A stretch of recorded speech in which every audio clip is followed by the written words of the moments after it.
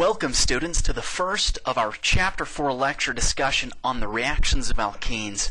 As I ponder this subject, I can't help but be reminded about this one time that I was sitting in the lab filtering about three liters of diethyl ether.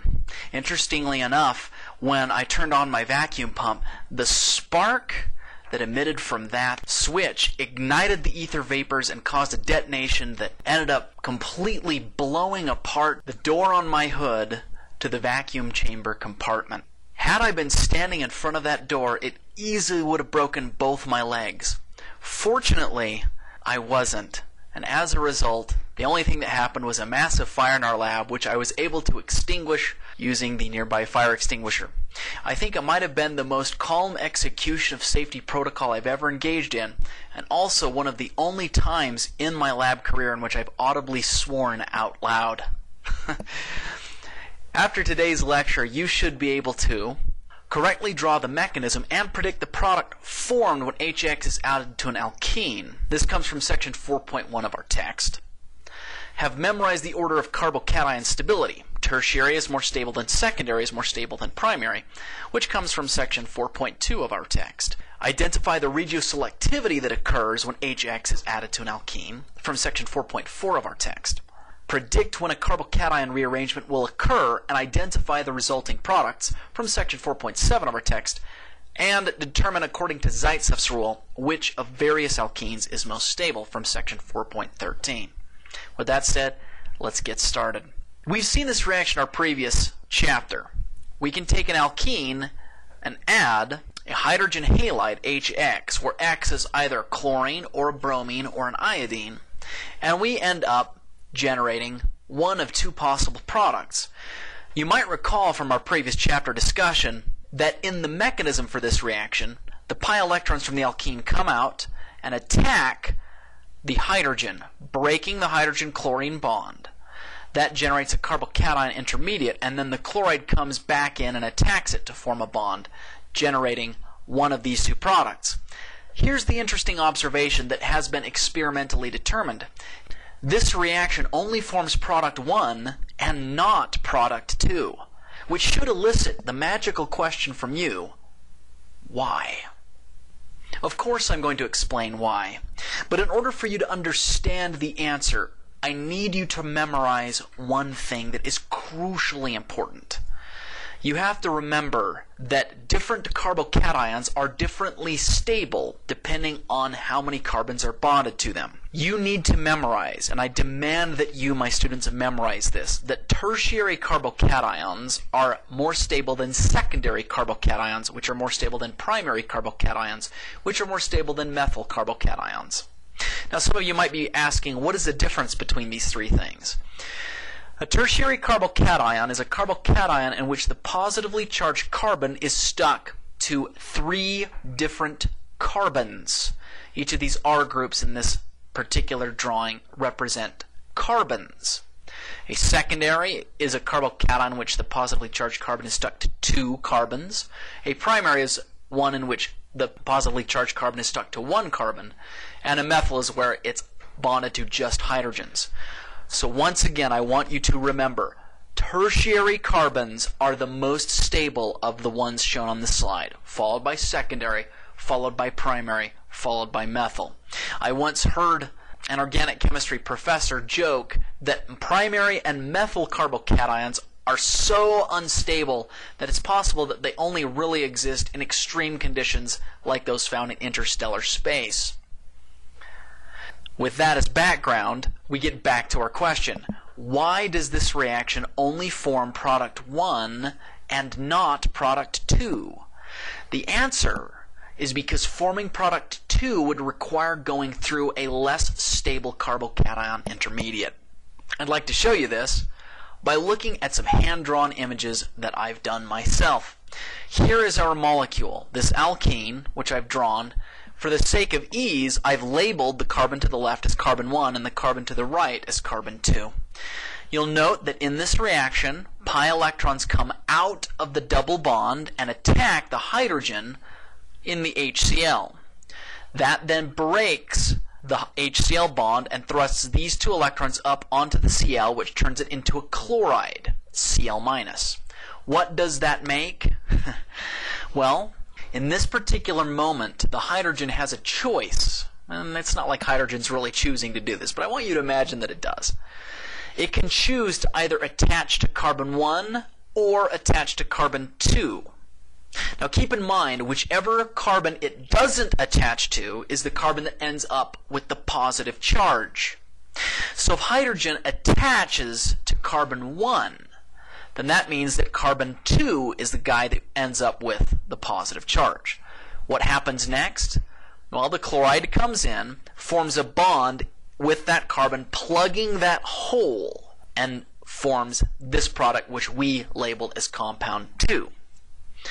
Now, in contrast, if we have our same alkene and the pi electrons come out and attack the hydrogen, breaking the hydrogen chlorine bond, but instead the hydrogen attaches and forms a bond with carbon 2, then where does the positive charge end up? It ends up on carbon 1. What happens afterward?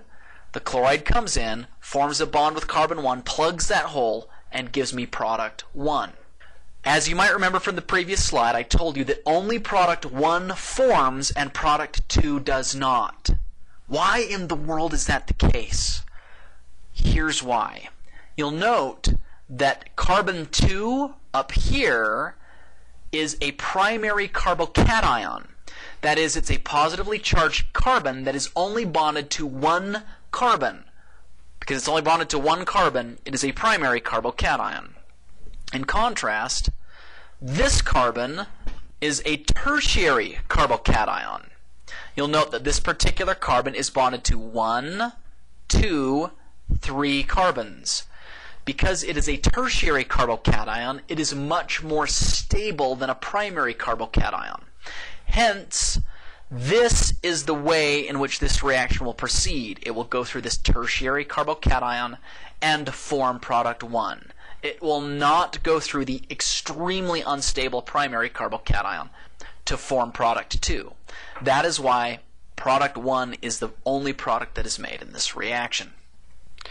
This can be summarized by a magical rule called Markovnikov's rule, which I sometimes just call Marky's rule for short, although that might be considered disrespectful to anyone who has the last name Markovnikov. Nevertheless, Here's what Markovnikov's rule says.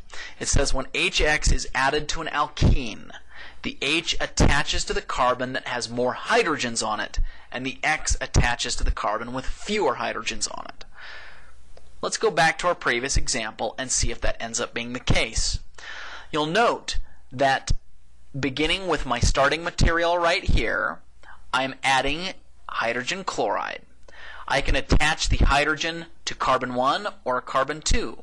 Remember from Markovnikov's rule that the hydrogen is going to attach to the carbon that has more hydrogens on it. Hence, it will attach to carbon 2. The chlorine, in contrast, will attach to the carbon that has fewer hydrogens on it. Hence, it attaches to carbon 1, which is why I end up getting product 1 shown here. Why in the world does that end up being the case? Well, as we already delineated, product 1 ends up going through a mechanism that gives me the more stable tertiary carbocation as opposed to the less stable primary carbocation necessary to form product 2. Let's see if you guys can tackle a lecture problem on your own. Predict the products of the following reaction. Now I'm going to actually show you the mechanism and answer for this momentarily, but I would highly advise that you pause the video now and see if you can tackle it by yourself. Here's the answer. We begin with our starting material here. Electrons are of course going to come out of that double bond, attacking the hydrogen in my HCl and breaking the HCl bond. The hydrogen of course now has a choice. It can attach to carbon 1 or carbon 2. According to Markovnikov's rule, the hydrogen is always going to attach to the carbon that has more hydrogens on it. Hence, it would attach to carbon 2. Nevertheless, for the sake of thoroughness, I'm going to show both case scenarios. If it attaches to carbon 2, we are going to end up with this intermediate. Note that the carbon, 1 or 2, that doesn't get the hydrogen attached to it is the one that ends up with the positive charge. At this point, the chloride can come in, plug that hole, and form a bond, giving us this product. Now, in contrast, if this molecule's electrons come out, attack the hydrogen, breaking that bond, and then place the hydrogen on carbon 1, I end up with this intermediate right here. If the chloride then comes in to form a bond there, we end up with this product. Which of these two products will end up being formed and which one will not? To answer that, we look at the intermediates. You'll note that this intermediate up here is a tertiary carbocation. That is, it is a positively charged carbon that's stuck to one, two, three carbons. Whereas this intermediate has a secondary carbocation, a positively charged carbon that is only attached to one, two carbons. Which of those two intermediates is more stable? The tertiary carbocation. Hence, the product shown over here is going to be the one that will be favored and be formed preferentially over the product shown down here. This once again falls in line exactly with what Markovnikov's rule says. When you take an alkene and you add HX, in this case HCl, the hydrogen always ends up on the carbon that has more hydrogens on it, and the chlorine ends up on the carbon that has fewer hydrogens on it. You'll note that between carbons 1 and 2, carbon 2 has one hydrogen on it, whereas carbon 1 has zero. Hence, our hydrogen from our HCl ends up on carbon 2, and our chlorine ends up on carbon 1. This brings us to a wonderful problem set. Question Which of the following examples is the most stable carbocation? I personally believe that I've given you enough information to be able to determine the answer on your own. Here's another one. Which of the following alkenes reacts with HCl at the slowest rate? Now, I'm not going to give you the answer to this question. I am, however, going to give you a hint. To answer this question, you need to draw out the mechanism for every single one of these five molecules reacting with HCl. You then need to look at each of the carbocation intermediates that are formed. Whichever one forms the least stable carbocation intermediate will be the one that will form the slowest and hence react at the slowest rate.